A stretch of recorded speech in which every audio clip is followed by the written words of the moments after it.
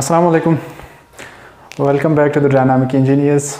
So today we are going to talk about an important concept that is used in civil engineering and design purpose and we focus it on it during construction as well. So what is that? That I have written it the development length. So first I would like to define it that what is development length and then uh, we will go for the calculations different methods through which we calculate the development length. So what is development length? Let me draw first an example for you people. Like if this is a column and this is a beam running in between these columns.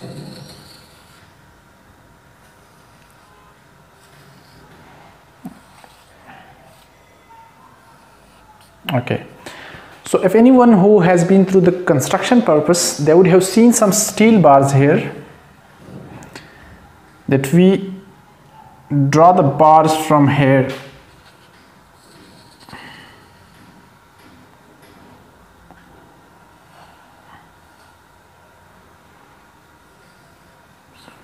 This is how we draw it.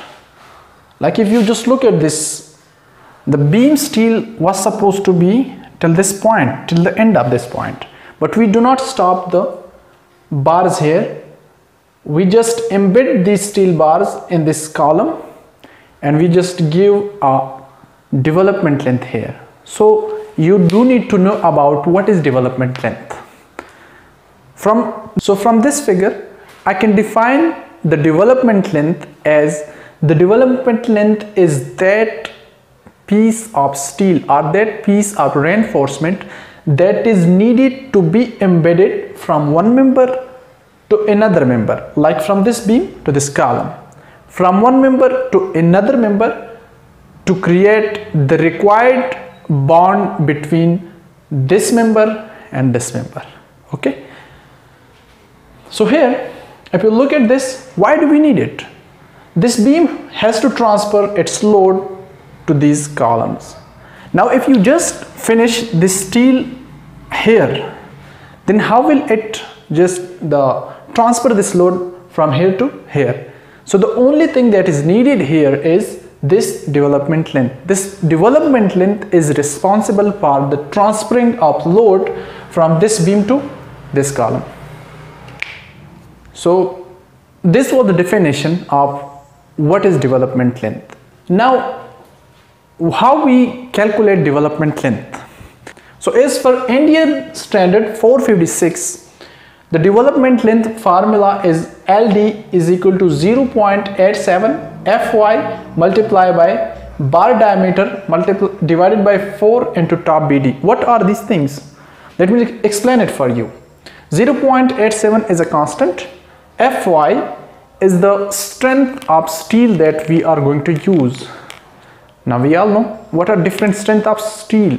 You are using G40, G60 or G75, whatever steel you are using, you will have to put the value of that strength here.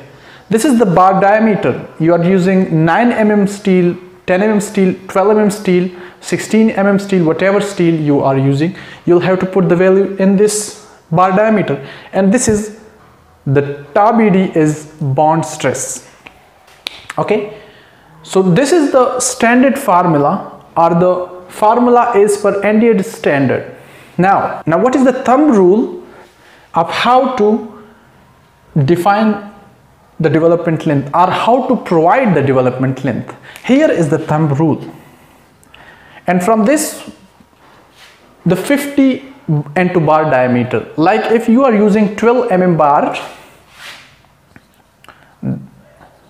12 millimeter, then 50 into 12 which is equal to 600 millimeter. This will be the bar diameter. So somewhere if you want to calculate the development length of any bar it will be around 50d that is the 50 55 45 or in between 45 to 55 this is how the thumb rule is.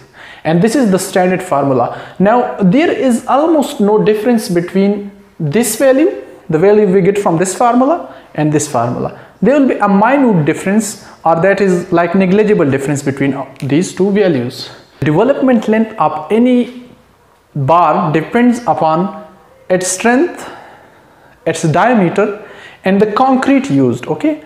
Development length also depends upon the concrete used. Like if you are using 4000 psi concrete 6000 psi concrete or whatever it is m30 m35 m25 which type of concrete you are using that development length depends upon that concrete as well.